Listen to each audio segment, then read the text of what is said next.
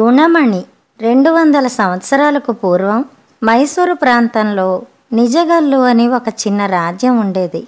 ఆ రాజ్యానికి ప్రభువు రామరస నాయకుడు ఆయన గొప్ప వీరుడు. మంచి మనస్సు కలవాడును పట్టపురాణి పేరు లకుమవ్వ. రాజు సమస్తమైన వైభవాలతోనూ తులతూగుతూ ఉండేవాడు. కానీ ఒక్కటే లోపం. పెళ్ళి అయి పదేళ్ళైనా సంతతి కలగలేదు. రాజు చేయని పూజలు లేవు. రాణి నోచని నోములు లేవు. ఎంత చేసినా ఫలితం లేకపోయింది.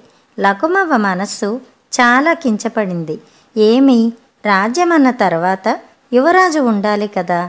ఉన్నప్పుడే పరిపాలన సవ్యంగా సాగిపోతుంది. లేకుంటే అంతా అరచకమే. కనుక ఆమె తీవ్రమైన ఆలోచనలో పడింది. ఆలోచించగా ఆలోచించగా ఆమెకు ఒక చక్కటి ఉపాయం తట్టింది. వెంటనే ఆమె తనకు దగ్గర బంధువైన ఒక సుందరికి కబురు పంపి రప్పించి తనకు సహచారిణిగా పెట్టుకున్నది. ఆమె చక్కని చుక్క సుగుణాల రాణి పేరు గిరిజవ్వ. ఈ గిరిజవ్వను గురించి పట్టపురాణి లకుమవ్వ భర్తకు ఎంతగానో చెప్పి ఆమెను పరిణయమాడవలసిందని కోరింది. మొదట రాజు ఈ సలహాకు ఇష్టపడలేదు కానీ లకుమవ్వ పదే పదే వేడుకోగా ఎలా అయితేనే గిరిజవ్వను రాణిగా చేసుకోవటానికి సమ్మతించాడు. గిరిజవ్వను రాజు పెళ్ళి చేసుకోవడంతో లకుమవ్వ సంకల్పం చాలా వరకు నెరవేరింది. అయితే గిరిజవకు పెళ్ళి కావటంతోనే ఆమె తల్లి లేనిపోని పెత్తనం కల్పించుకోసాగింది. లకుమవ్వ మాట చెల్లనీయకు.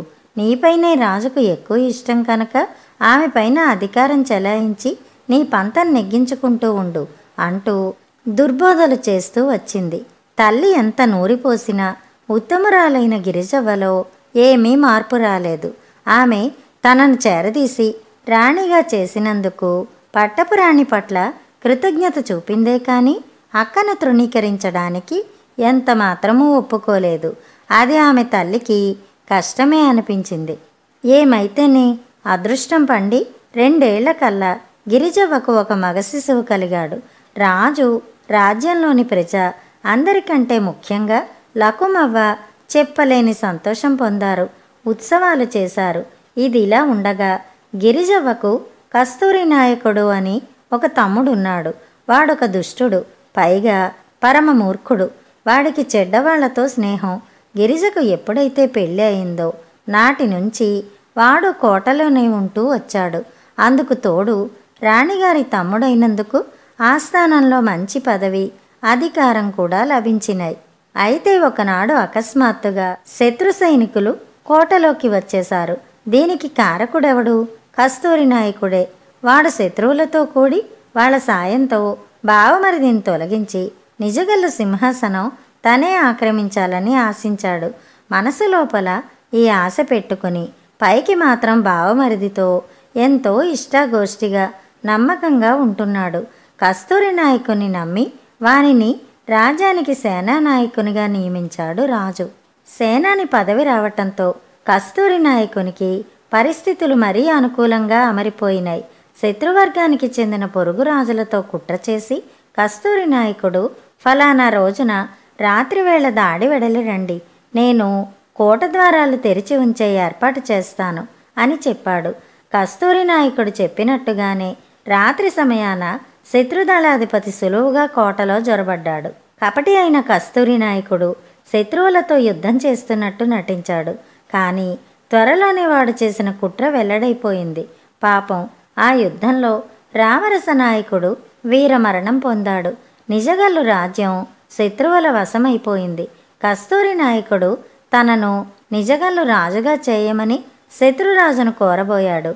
అయితే ఇప్పుడు గిరిజవ అద్భుత సౌందర్యం చూసిన ఆ దళాధిపతి ఒక కొత్త షరతు పెట్టాడు. గిరిజవ నన్ను పెళ్ళాడితే ఆమెకు పుట్టే బిడ్డను రాజుగా చేసి నిన్ను ప్రతినిధిగా చేస్తాను అని. లేకుంటే నీకు లేదు ఆమెకు లేదు అని బెదిరించాడు కూడాను.